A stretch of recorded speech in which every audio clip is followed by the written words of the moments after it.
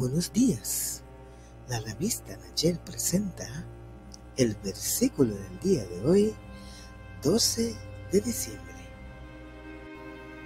El versículo del día de hoy, lunes, lo ubicamos en el libro de primero de Timoteo 4, versículos 4 y 5.